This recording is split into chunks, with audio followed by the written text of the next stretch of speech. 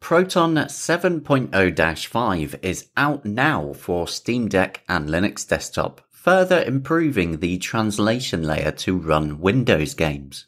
It was previously available as Proton Next that I did a video on, so if you have any games you've set onto Proton Next, you can go ahead and just untick the compatibility option as it is now the main version of Proton that's the default on pretty much everything. Proton updates like this just show up in your Steam downloads like any other game, and you don't need to go searching as pretty much everyone will have the standard version of Proton installed. So what's actually new? As a reminder, I'll go over the changelog for you. With Proton 7.0-5, the newly playable games include Rift, Unravel 2, Airborne Kingdom, Nancy Drew, The Legend of Crystal Skull, the classic racer Revolt, although for Revolt I would suggest taking a look at my previous video where I run it through a modern game engine with the help of Luxtorpeda.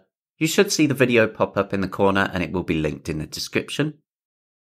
Also now supported is Aspire Ina's Tale, Battle Realms Zen Edition,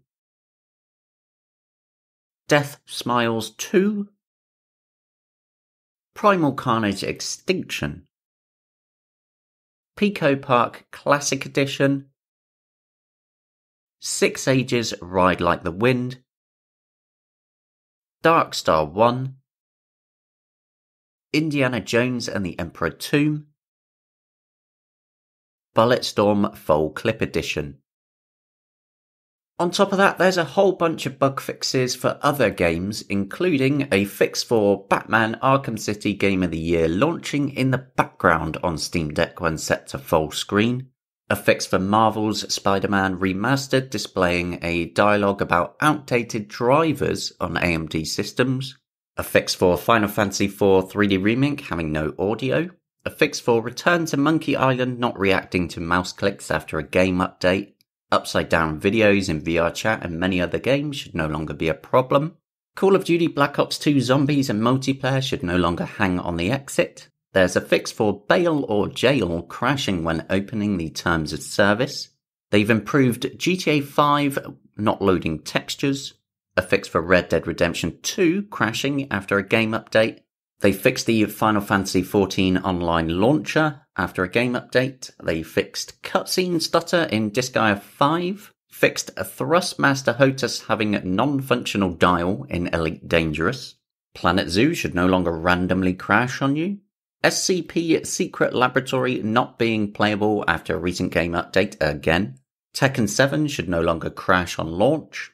Armello should no longer hang on exit. Sword Art Online Hollow Realization freezing after the tutorial was solved. Space Engineer's intro video not playing correctly was fixed. And they also fixed Dragon's Dogma Dark Arisen videos not playing correctly. And they also implemented network video support for VRChat. And the final one is an update to DXVK to a later version. This is the part of Proton that translates Direct3D DirectX over to Vulkan.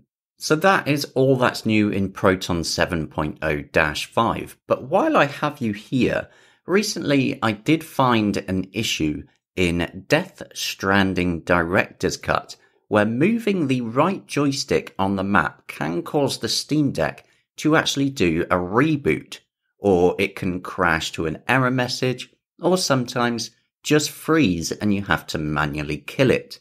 There is a fix on the way, thankfully, though, with a Valve developer mentioning to me on Twitter that they are testing the fix, but they're being careful as it will invalidate the current precompiled shaders. So at some point there will be a SteamOS update for that as it's a fix in the GPU drivers. So if you've also seen that issue in Death Stranding Director's Cut, stay tuned on the fix for that. As always, do let me know what you think in the comments and check the description for more info and all the links, and I'll see you later.